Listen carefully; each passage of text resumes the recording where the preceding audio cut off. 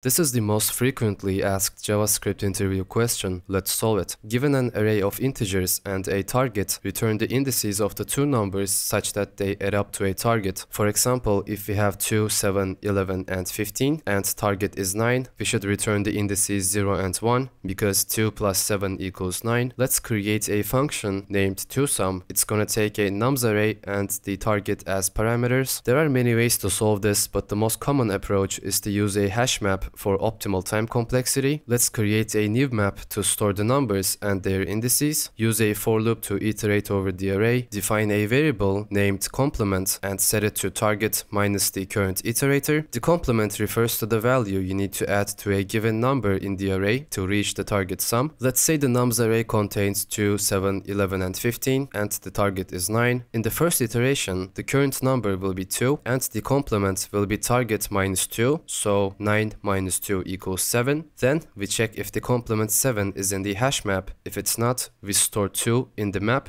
with its index, which is 0. In the second iteration, the current number will be 7 and the complement will be 9 minus 7 equals 2. Then we check if the complement 2 is in the hash map. We stored 2 at the index 0 in the first iteration, so it is in the hash map and we have found the solution with indices 0 and 1. If there is no solution found, we are just going to return a empty array. Let's see the results and it works fine.